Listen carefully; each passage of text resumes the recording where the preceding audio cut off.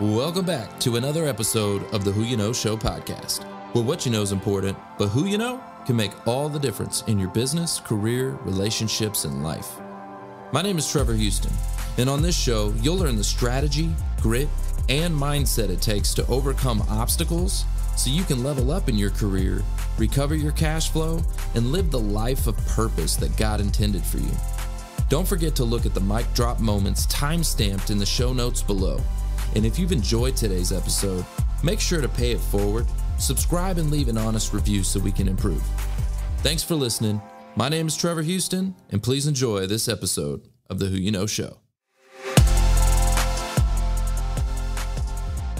You got Casey Hasten in the house. I want to be extremely respectful of your time because I know you have your own podcast Yes. that you're gonna you're gonna like leave like us here. leave. Yeah. Yeah. like right up Yeah, at yeah, this, right, right? Yeah. Yep. right around Yeah. the corner. So I want to make sure I can squeeze out as much value out of this time that we have. Tell us real quickly, what is what's the most creative way that you've seen someone follow up?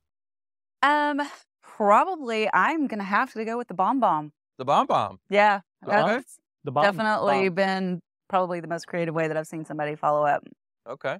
Yeah. Using the video to is. get Yep. somebody's attention. No, what about the the, worst experience following up? What's the worst thing you've ever seen? Somebody that calls back to back to back to back to back Uh. and either, you know, they won't leave a message, they just like power dial you. Uh, And that's like to me that's psycho, you know. Oh, that's not It is good. psycho. and um just Shame on y'all. yeah, don't do that. That's not nice. Doing that. call, leave one message, give them 24 hours at least to respond because people are busy, you know.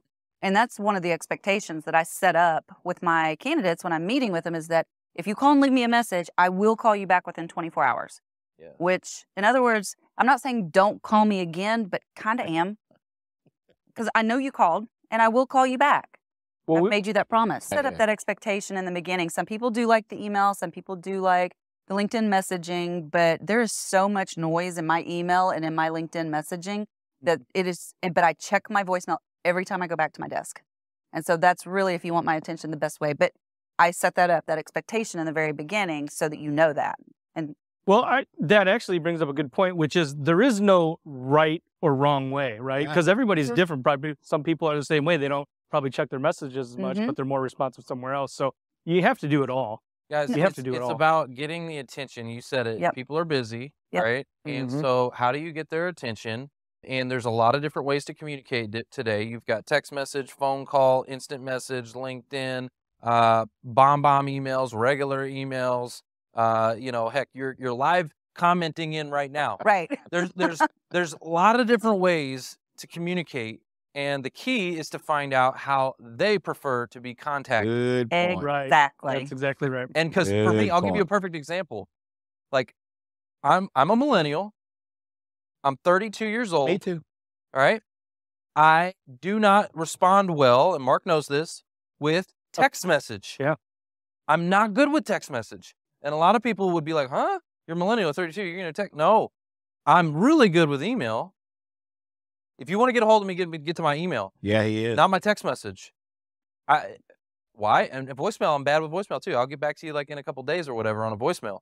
Don't stereotype us, y'all. Whatever, whatever they prefer. Whatever is their Right. preferred Ask method. them, guys. Ask them Yeah. when you're Doesn't- having that communication with. Ask them. Just X. Ask. Right. Just well, X. and that's another thing is that you know a lot of people they're they're called scared, timid, too shy.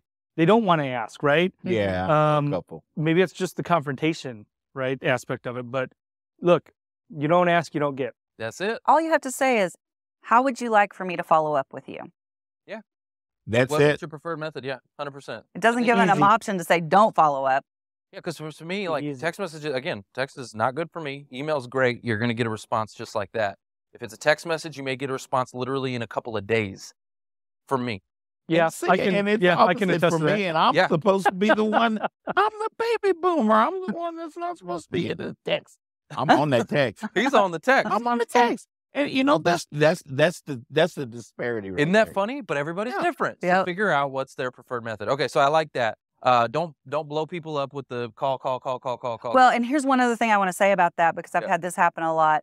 Don't call me, then text me, then email me within five minutes. Mm. Pick one. Take one. Yeah, good point. Use- I've done that. I just actually I did that yesterday. I'm guilty. You just did that to someone? Yeah, but I but my messages aren't getting through, so I wanted to make sure that for some Sometimes reason it if can it's look getting lost. Yeah. Yeah. sometimes it can look desperate, you guys, and you may Yeah. be a you may be a pretty good a candidate for the role, but that desperation does you more Uh-huh. damage than you know. People are busy. Talk about this all the time, don't we, We Foster? do. We do. People are busy, and so you, you just don't come off desperate. People are busy, and we'll get back to you. It may take a couple days, but we'll get back. Yeah. Um. All right. Tell me first of all why you started the We Are VIP podcast. What What is your why? My Casey why. Hasten, what is your why? My Yeah, why hear is that. I love to give value first. Yeah. I want to give value. I want to build those relationships. I want to help people find jobs. And I firmly, firmly believe that if I give value first, the money will follow. It has to. It can't help but follow. So I give value first, and that's the entire. And I'm very fortunate that I work for a company that is so forward thinking that they were open, number one, to even hearing about the idea. And then number two, so, saying, hey, we want to do this with you, you know, and sponsoring the podcast. And so I get the opportunity to bring some really amazing thought leaders, um, you know, people that have been in the business for a while that can teach you how to do things.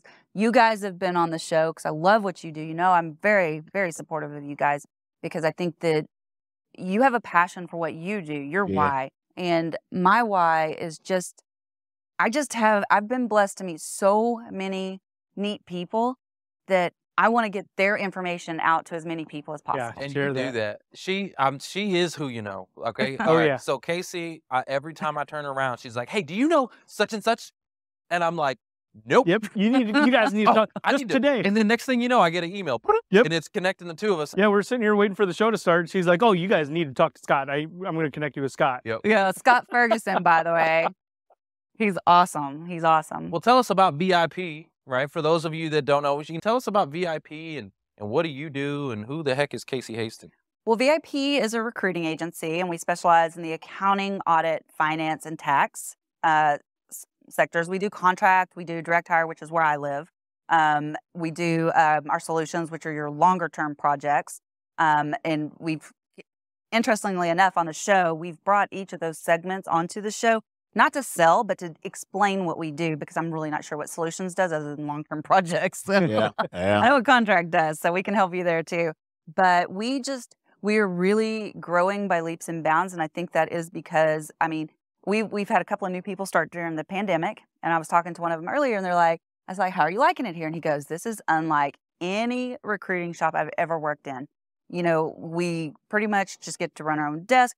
They want us to build these relationships first, where it, and it's just not as transactional. It's it's truly about building those long term relationships so that we can serve our clients and our candidates for many years to come. So, I, I'm noticing a trend with that. There's um, a few, not not many, but there's a few out here in DFW that I'm aware of uh, recruiting agencies that are just all about relationship, Mhm. Mm-hmm. and they're the ones that come here on this show. Um, you know, there's another uh, shop out here, high profile staffing. They do great as well. They're all Oh, oh, about yeah, Bronwyn. Oh you know, yeah. they're all Yep. about Bronwyn. building relationships. Love Bronwyn. And and these these recruiters are standout people. You know, I mean, just just really good. You mentioned uh, the pandemic, so here's another great question I have for you. What should a job seeker be prepared to answer in their interviews about COVID? What are some questions that, if you were them, like, how would you prepare them for for their interviews about COVID? So, I am not really seeing a lot of questions coming from the interviewers to the candidates, but what I am encouraging candidates to do is ask in reverse. How is your company handling this situation? How are you taking care of your employees? How are you onboarding new people? How are you, you know, managing in this crisis? How many people have you laid off? Have you reduced salaries? Have you furloughed? You know, what are you doing? Because here's the theme that I'm hearing from people right now that still have jobs. They're like, I didn't really know what my company company stood for until the pandemic hit. Uh-huh. And it can be very, very good or it can be very, very bad. But the very bad ones are like, you know, the high level CFO and all them, they didn't get 50% of their salary cut. Mm-hmm. Mm-hmm. And that speaks volumes to me. And this is not a company I want to work for. Oh, I, I agree with that. So that's where I would encourage the job seekers to ask those kind of questions. Yeah. A lot of us are sick of corporate tactics and we want to work for some companies that actually make us think that they care about what's going on. Those questions, guys, will make a determination of whether you want to work for that company. What you what are you getting yourself into? I have a question for you, Casey. Where have you seen since the pandemic has happened, more people are working from home that are still working, um, but the industries that you serve, the clients that you serve, where are the needs shifting to? Is it still, I mean, just a broad base of talent, accounting, finance, financial services, things like that, that you're you're filling positions for, or how has that shifted? So the positions that I'm seeing that are still available are going to be those positions that typically take advantage of the um, recession-proof times, like your alcoholic beverage distribution places. They're Okay. not suffering. Right. Um, private equity. Private equity firms. They're out investing Yeah, right they are. now. Oh yeah. Yeah. Oh yeah. So they're doing really well. Um, what's another one that's still hiring? Um, a lot of your essential services. Sure. So they're still hiring. Supply chain logistics. Yes. So a lot of those are still doing really well. But I but I will tell you, um, you know, we are not anywhere near where we normally are with job recs right now. So and I just keep telling people just be patient. I do believe it's going to open back up as the economy opens back up, but I think we're going to see a very different landscape hmm than have, what we see today. do you have a lot of clients that had recs to fill and they're just on hold? Correct. Okay, so they're they're still out there. It's just Yeah, kind and of waiting right now. It is, and it's kind of you know we're not sure. Like one of my clients that I'm thinking of in particular, they're in the retail s- space, and we had been working on a pretty high level uh, role for them prior to the shutdown.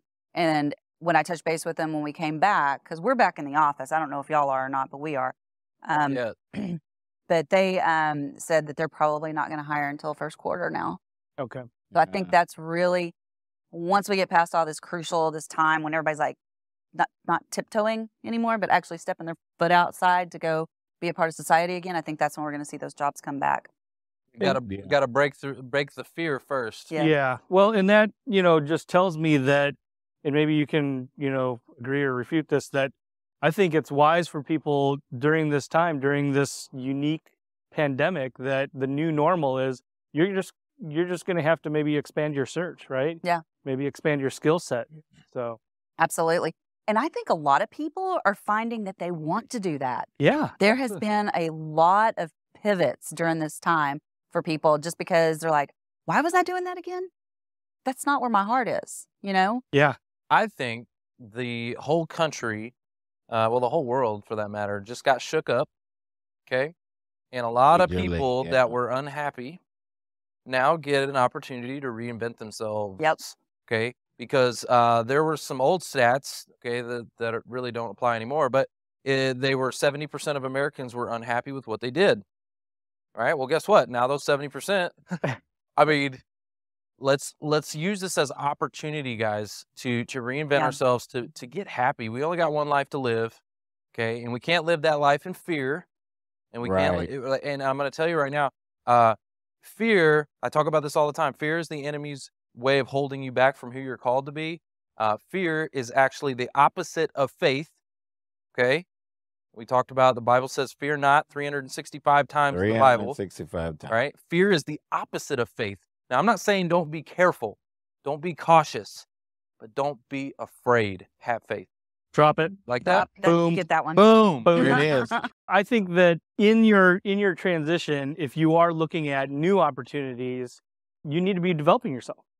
How favorable do your clients look on people that are continuing in their education, getting new certifications? I mean, do the, do they Yeah. look for that? In, Absolutely, absolutely. And now with the job market, you know, we went from being a candidate market where, you know, the candidate, candidates could pick and choose where they went to work to being in the employer market, just like that. Yep. And so I think that, you know, companies that might have said, for my industry, it's the CPA, might have said CPA preferred before, now required. Mm. And they can do that. They can do it. So any certifications that you can go out there and get any improvement, now's the time. So what you're saying is the the purple squirrel just got purpler? Yeah. hey, for those of you that don't know what the heck a purple squirrel is, you're like, what? So, because a lot of it's funny, I talk about the purple squirrel, people are like, what? Huh? What's that? Yeah. Uh, the purple squirrel is when these companies they they have all the requirements on the job description, and it's like and they won't bend. Is that a human being? Right. Like, does that person even exist? They're hard to find. Sometimes they don't even exist. Right, and and and yeah, and the hiring manager won't bend on certain Yeah. things, and um, they call that the purple squirrel. Yeah. And it flies past a unicorn. Yeah. Unicorn's over. Flying purple squirrel. but you know what that comes down to? It stems down to supply and demand. Yep. Right. Okay, and right now, the uh, the supply is It does. you know Well, and that's a, that's a great point because if you look, if you are in a competitive environment like we are right now, ultra ultra competitive. Think about all of those people who are now newly unemployed and are Mhm. looking. Now you're in competition with a bunch of people who were working, they were successful, Uh-huh. and due to no fault of their own, they were laid off. And so that number has just skyrocketed. But professional development, continuing education, additional certifications, those are all ways that you can further distinguish yourself, right? And I just want to say this anytime, not just during a pandemic. Oh, absolutely. Yeah. You know, anytime, professional development, you should always be learning. All right, so I know I got you for like two more minutes. Yes. So she looked at her watch. Uh, yeah. so, so okay, uh, what do you contribute to more of your success? What you know? We were just talking about prefer- uh, professional development, or who you know. duh. It's almost like a trick We're question. Who you know? I mean, when I started networking and started, and you know, and I'm pretty kind of new to this networking thing, believe it or not. But when I started networking, that's when I started having success. And it's not because I go to you and I say, What can you do for me, Trevor? It's because I go to you and I say, What can I do for you? That's And when you do that, you Mhm. will be successful. And if I remember correctly, guys, Casey shared with us that she was a desk accountant at one time for a long time, right? 20 years. 20 boomers. That's a lot of beans. wow. See, I told you guys that recruiting is a wonderful, wonderful career. We're not bad people. no, no. I just, you know, and the thing, the, the fact is, if you find a good recruiter, like the job father here, Oh, Mm. Lord. this person can change your life. That's what happened to me. I found a good recruiter and she recognized, she didn't say, okay, you've done this kind of accounting, so I can place you here and make this much money. No, she saw the human factor and she said, you don't even like accounting, Casey. Why are you still doing this? Wow. And I was like, eh, losing her commission, right? That she could have made off me. And she said, you know, you have such, you know, an energy. You work well with people. Have you ever thought about recruiting? I'm like, I don't know anything about recruiting. She's like, I'll teach you. And she did. And I tell everybody all the time, if you find your passion, you'll never work a day in your life. So- That is true. That is true. Yeah. Think about in your life the people who has helped to shape you into who you are today, right? So Foster, man, I appreciate you, man. I love you, really. Shout out Thank to you. Brian Craig. Casey Okay. has been one of those people. Aw. Let me tell you, I mean, thank you. We want to get your information out there, tell people how to connect with you. Um, but as far as the relationship piece, think about this. If you guys are working with a recruiter like Casey, you need to have that relationship because you might find yourself in a search a Mhm. year, two, how many down the line, and, and you have a go to person then. So, uh, great point. Yeah, How- build that relationship for yes, sure. definitely. What can I do for Casey Hasten on this show? You know what? What? You have already done something for me today. What did I do? You made an introduction that you had no idea how perfect it was to Tyra Bremer. Oh, okay. Yep. Oh, So yeah. Yep. I meant to say thank you to that. And Tyra, cannot wait to get to know you better. And thank you for all the connections today. That's Yeah. awesome. It's all about connecting people. But Yep. what else could I do for you? I want to. I want to just want to hook Casey up because you're always Yep. hooking me up.